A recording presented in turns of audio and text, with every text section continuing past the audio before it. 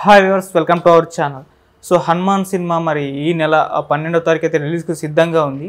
అయితే థియేటర్స్ చూసుకుంటే ఈ సినిమాకి చాలా తక్కువ స్క్రీన్స్ ఇచ్చారని చెప్పేసి ప్రొడ్యూసర్ కూడా విమర్శించడం చూస్తున్నాం కూడా. అయితే ఇప్పుడు ఈ సినిమాని ప్రమోట్ చేయడానికి విశ్వ హిందూ పరిషత్ అండ్ బజరంగ్ దళ్ వాళ్ళు ముందుకు వచ్చేసారు ఈ సినిమాని ప్రమోట్ చేయడమే కాకుండా ఈ సినిమాకి ఎక్కువ థియేటర్స్ వచ్చే విధంగా వాళ్ళు ఒక ప్రయత్నం అయితే చేయబోతున్నారు. మరి వాళ్ళ ప్రయత్నం సక్సెస్ అవుతుందా? ఈ సినిమాకి ఎక్కువ థియేటర్స్ రాబోతున్నాయా? వీళ్ళ ప్రమోషన్ ఎలా ఉండబోతుంది? సో ఈ అంశం మీద డిస్కస్ చేయడానికి ప్రజెంట్ మనతో పాటు సీనియర్ జర్నలిస్ట్ జగదేవ్ గారు ఉన్నారు. వారితో ఒకసారి డిస్కస్ చేద్దాం. నమస్కారం సార్. సార్ హనుమాన్ సినిమా మరి ప్రశాంత్ వర్మ గారి డైరెక్షన్లో రాబోతుంది. సో ఈ సినిమా హిందీలో అండ్ తెలుగులో ఒకే రోజు రిలీజ్ అవబోతుంది. అయితే సినిమా స్క్రీన్స్ చూసుకుంటే గుంటూరు కారం కంటే చాలా తక్కువ స్క్రీన్స్ అయితే దీనికి దొరకడం జరిగింది. అయితే ఇప్పుడు ఈ సినిమాని ప్రమోట్ చేయడానికి ఆ విశ్వ హిందూ పరిషత్ వాళ్ళు కానివ్వండి బజరంగ్ దళ్ వాళ్ళు కానీ వీళ్ళు ముందుకు వచ్చేసారు. అలాగే సినిమాకి ఎక్కువ థియేటర్స్ వచ్చేలా చేయడానికి దిల్ రాజు గారి మీద ప్రెషర్ కూడా తీసుకురాబోతున్నా వార్తలు కూడా వస్తున్నాయి మరి. ఎలా ఉండబోతుంది అంటారు అంటే సంక్రాంతి బరిలో ఉండే ఏ సినిమాకైనా కొద్దిగా టఫ్ ఎదుర్కోవడం కామన్. దట్టు తిను చిన్న హీరో. అవును. సినిమా చిన్నది పెద్దది కాదు. ఇప్పుడు సినిమా ఎప్పుడు ఒకటే. బట్ ఏంటంటే చిన్న హీరో పెద్ద హీరో అనే కాంప్లికేటెడ్ కొన్ని ఉన్నాయి. దట్టు సంక్రాంతి బరిలో అనేసరికి ఇప్పుడు అంటే ఒకప్పటి నుంచి ఉన్న ఆనవాయితీ ఏంటంటే సంక్రాంతికి అందరూ కూడా ఎస్పెషల్లీ తెలుగు వారికి the one and only entertainment ఏంటంటే సినిమా. కాబట్టి వరుసగా సినిమాలు రిలీజ్ అవుతుంటాయి. ప్రతిసారి కూడా ఇప్పుడు లాస్ట్ ఇయర్ సంక్రాంతి చూసుకుంటే చిరంజీవి గారిది బాలకృష్ణ గారిది ఒకరోజు తేడాలో రిలీజ్ అవ్వడము అంటే హిట్ ఫట్ట విషయం పక్కన పెడితే ఆ ఆ ఫ్లోలో మోస్తరుగా కలెక్షన్స్ అయితే ప్రొడ్యూసర్స్ లాభపడతారు.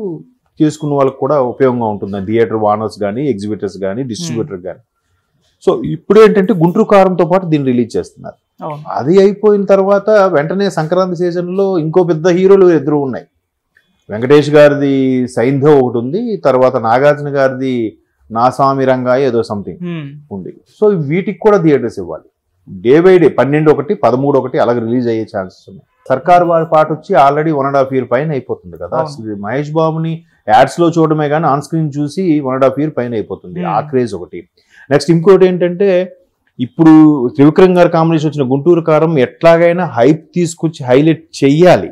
ఎందుకు చేయాలంటే నెక్స్ట్ రాజమౌళి గారి సినిమా పడబోతుంది. రాజమౌళి గారి సినిమాకి ఇప్పటి నుంచి గ్రౌండ్ వర్క్ స్టార్ట్ చేసుకుంటున్నారు సో అందుకని దానికి స్క్రీన్స్ ఎక్కువ ఇచ్చేసారు సో హనుమాన్ మీరు ట్రైలర్ చూస్తే కంపేర్ టు మిగతా సినిమా పేరు చెప్పను కానీ కంపేర్ టు మిగతా సినిమాలతో పోలిస్తే ట్రైలర్ అయితే చాలా బాగుంది. అంటే. ఏదో ఒక ఎంతూజియాజం కలిగిస్తోంది మనకి ఇంట్రెస్ట్ కలిగిస్తుంది. సో కాకపోతే తేజ సజ్జా అనేవాడు కుర్రోడు కుర్రోడు మంచి యంగ్ హీరో చిన్న చైల్డ్ ఆర్టిస్ట్గా చేసే అతను. సో దానికి బాగా హైప్ తీసుకొస్తే బాగుంటుందని ఒక ఆలోచన. కాకపోతే సంక్రాంతి బరిలో అనేసరికి ఇప్పుడు మీరు అన్నట్టు దిల్ రాజు గారు కానీ ప్రొడ్యూసర్స్ కానీ లేదా డిస్ట్రిబ్యూటర్లు కానీ వీరందరూ కూడా ఎలా ఏం చేద్దాం? అంద అల్టిమేట్గా సినిమా బతకాలి. అల్టిమేట్గా సినిమా ఆడాలి. సినిమా కొనుక్కున్న ఏవి డిస్ట్రిబ్యూటర్ అయినా లేదంటే ఏ ఎగ్జిబ్యూటర్ అయినా ఎవరైనా సరే లాభపడాలనే అల్టిమేట్గా ఉంటుంది. బట్ ఎవరికి అడ్జస్ట్ చేయాలి? ఎవరికి ఎక్కువ ఆదరణ ఉంది? ఎవరిని ఎలా తీసుకెళ్తారనే దాని మీద ఉంటుంది. హనుమాన్కి సంబంధించి హను మ్యాన్ అని అంటున్నారు కొందరు. మాన్ ఎంఏ మన ఇంగ్లీష్ వర్డ్స్ ఎలా పలికినా ఓకే హనుమాన్. పోస్టర్లో కూడా చూస్తే వెనక హనుమాను పెద్ద విగ్రహం ఉంటూ ముందుకి తేజ సజ్జ గద పట్టుకున్నట్టుగా దాన్ని ఏదో సాల్వ్ చేసినట్టుగా ఉంది స్టోరీ లీక్ చేయలేరు కానీ. కాబట్టి దాని మీద ఇప్పుడు విశ్వ హిందూ పరిషత్ విహెచ్పి హ్మ్. తర్వాత బజరంగ దళ్ వారు. నెక్స్ట్ ఆర్ఎస్ఎస్ వాళ్ళు కూడా మ్యాక్సిమం దానికోసమే ట్రై చేస్తారు. కాకపోతే బజరంగ దళ్ వాళ్ళు పేరే బజరంగ దళ్. అది యాక్చువల్గా వజ్రంగ దళ్ అది. వెస్ట్ బెంగాల్లోను ఒరిస్సా వాళ్ళకి వా పలకదు వాళ్ళు. వాళ్ళు బసంతి అలా మాట్లాడతారు కదా. హ్మ్. సో వాళ్ళు కూడా వజ్రధ వజ్ర శరీరధారుడు కదా హనుమంతుడు. సో వజ్రంగ దళ్ కాస్త బజరంగ దళ్ అయిపోయింది. ఓకే. బజరంగ దళ్ బజ్రంగ దళ్ అది. వజ్ర బజ్ర. సో ఆ బజరంగ హనుమాన్ పేరు పెట్టుకునే దళం కాబట్టి మనం బజరంగ దళ్ పేరుని చాలా సందర్భాలు మనం వ్యాలంటైన్స్ డే రోజు అలాంటి సందర్భాలు ఎక్కువగా వింటుంటాం న్యూస్లో. సో వాళ్ళు వాళ్ళ సిద్ధాంతాలు వాళ్ళు కొన్ని బాగుంటాయి బాగానే ఉంటాయి. సో హనుమాన్ జయంతి అప్పుడు ర్యాలీలు తీయడము అవన్నీ కూడా చేస్తుంటారు. ఇప్పుడు హనుమాన్ సంబంధించింది కాబట్టి విశ్వ హిందూ పరిషత్తో పాటు బజరంగ దళ వాళ్ళు కూడా టైఅప్ అయ్యి దీనికి ఎక్కువ సినిమాలు ఇవ్వాలి. ఎందుకు వాళ్ళు ఎప్పుడూ లేని ఈసారి పట్టుబడుతున్నారంటే ముందుకి రేపు జనవరి ఇరవై రెండున అయోధ్యలో రామ్ రాముని యొక్క విగ్రహం ప్రతిష్టాపన ఉంది. అది కాక రేపు పన్నెండవ తేదీ నుంచి కూడా కొన్ని కొన్ని కార్యక్రమాలు క్రతువులు నిర్వహిస్తున్నారు. ఫస్ట్ది ఏంటంటే పన్నెండో తేదీన ఒక రకమైన యాగం చేయడం పద్నాలుగో తేదీన ఒకటి పదహారున ఒకటి పద్దెనిమిదిన ఒకటి అలాగా ప్రతి రెండు రోజులు గ్యాప్ ఇస్తూ ఒక్కొక్క క్రతువు నిర్వహిస్తున్నారు అక్కడ. అంటే అన్ని సర్వ జన సర్వేజన సుఖనోభవంతో సంబంధించి ఒక యాగం. అలాగే ఆ, సరయూ నది నుంచి నీరు తీసుకొచ్చి అయోధ్యను అంతటిని చేయడం అలాగా. సో వాళ్ళప్పటి నుంచి చేసి ఇరవై రెండు వరకు కూడా చేస్తున్నారు.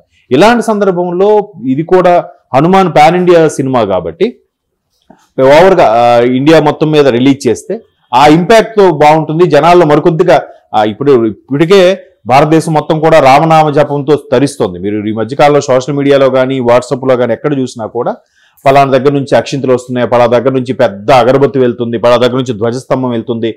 ఆ తర్వాత రాముని యంత్రం దాని కింద పెట్టబోయే యంత్రం దీన్ని చూసి తరించండి దీన్ని షేర్ చేయండి లేదా రామనామ జపం చేయండి. కొంతమంది రామనామంతో రాగిరేఖ మీద చెక్కించి దాని ప్రతి గోడ మీద అచ్చు- వేయించి వెళ్ళడము. ఇలాగ ప్రతిది కూడా ఒక దేశవ్యాప్తంగా ఒక ఉద్యమంలో తీసుకెళ్తున్నారు రామనామ జపాన్ని. అలాగే అయోధ్యలో ప్రతిష్ఠించబోయే రామ రాముని విగ్రహం యొక్క ప్రఖ్యాతను దాని ఖ్యాతిని ప్రపంచ నలుమూలలో చాటి చెప్పేలాగా ప్రయత్నం చేస్తుంది. దాంట్లో విహెచ్పి బజరంగ దళ్ అలాగే దేశ బీజేపీ ప్రభుత్వం కూడా చాలా బాగా ముందుకు తీసుకెళ్తుంది. సో ఇలాంటి సందర్భంలో దానికి రిలేటెడ్గా మూవీ వస్తే ఇంకొంచెం బాగుంటుంది కదా. ఉత్సాహంగా ఉంటుంది. చూసే వాళ్ళు కూడా ఓహో హనుమంతుడు ఆ- భక్తి విశ్వాసాలు మరికొద్దిగా పెంపొందిస్తాయి.